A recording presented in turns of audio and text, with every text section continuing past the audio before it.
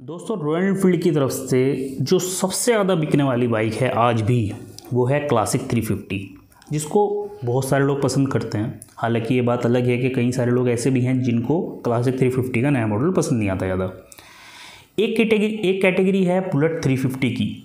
जिसमें कि आती है स्टैंडर्ड 350 जिसके कि बहुत सारे दीवाने हैं और जिनको प्योर बुलेट वाली फीलिंग चाहिए। भले ही काफ़ी सारे चेंजेस हो चुके हो चुके समय के साथ साथ लेकिन फिर भी बहुत सारे लोग ऐसे हैं जिनको सिर्फ़ स्टैंडर्ड 350 यानी कि बुलेट 350 किक वाली पसंद आती है।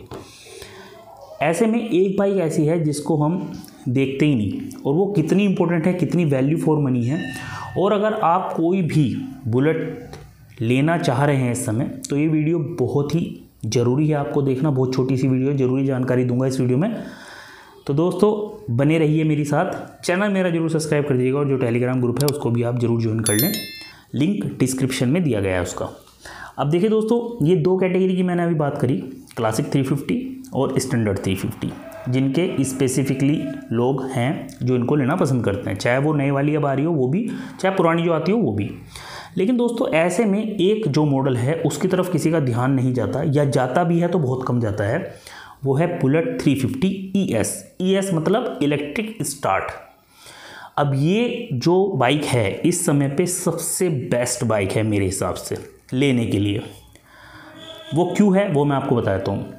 देखिए, बहुत सारे मेरे सब्सक्राइबर्स ऐसे हैं, जिनका कहना ये है कि जो क्लासिक 350 जो पहला मॉडल आ रहा था, वो बहुत बढ़िया था।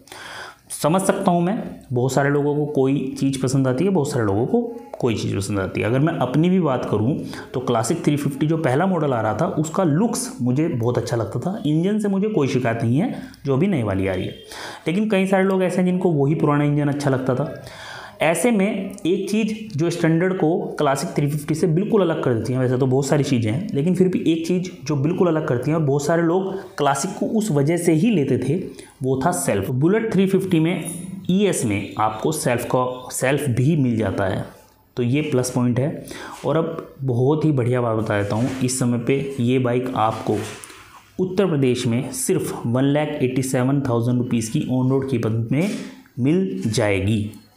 बिना किसी एसिडीज़ के। तो कीमत के हिसाब से बहुत ही वैल्यू फॉर मनी है। बाकी सभी चीज़ें, अगर सिर्फ़ ग्राफिक्स को मैं चेंज कर दूँ टैंक के ऊपर तो लगभग सभी चीज़ें चेंज हैं। थोड़ा बहुत इंजन में कलर काला वगैरह का रखा है रिम्स में काला कलर है, ये थोड़ा चेंज है। लेकिन सेल्फ के साथ में जिसको बुलेट की फीलिंग चाहिए और जो अपनी पुरानी क्लासिक 350 को मिस कर रहा है, उसके लिए ये बेस्ट ऑप्शन दोस्तों, अगर आप सोच रहे हैं कि पुराने वाली जो क्लासिक 350 है, वो वापस आ जाएगी या वो इंजन वापस आ जाएगा तो मैं आपको एक बात बता दूँ क्लियर क्लियर कि ऐसा बिल्कुल भी नहीं। एक चीज़ जो मैं आपको बताऊँ कि आप ये सोच के देखिए कि ये इस समय पे सेल्फ के साथ में कोई भी ऐसी रेट्रो बाइक है जो इस कीमत में आपको मिल जाएगी। तो सीधी सी बात है, ऐसी कोई भी इस समय बाइक नहीं आ रही रेट्रो मॉडल्स में, जो कि आपको इस कीमत में मिल जाए। अब बात कर लेते हैं एक ज़रूरी सूचना की। देखिए, बहुत सारे लोग जो हैं, वो मेरे से पूछते रहते हैं कि नेक्स्ट जनरेशन बुलेट 350 कब आएगी? नेक्स्ट जनरेशन बुलेट 350 कब आएगी? तो दोस्तों, ऐसी जानकारी मुझे मिली है कई जगह से कि बुलेट 350 जो इलेक्ट्रिक स्टार्ट है और जो बुलेट 350 स्टैंडर्ड मॉडल है, उनका स्टॉक धीरे धीरे कम हो रहा है।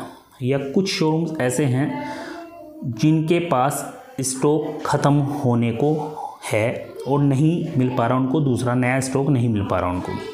तो अगर आप अभी बुलेट 350 लेना चाह रहे हैं तो ये बेस्ट टाइम है बुलेट को परचेस करने का। और अगर आपको सेल्फ के साथ में बुलेट चाहिए तो आप बुलेट 350 ES बिल्कुल ले सकते हैं।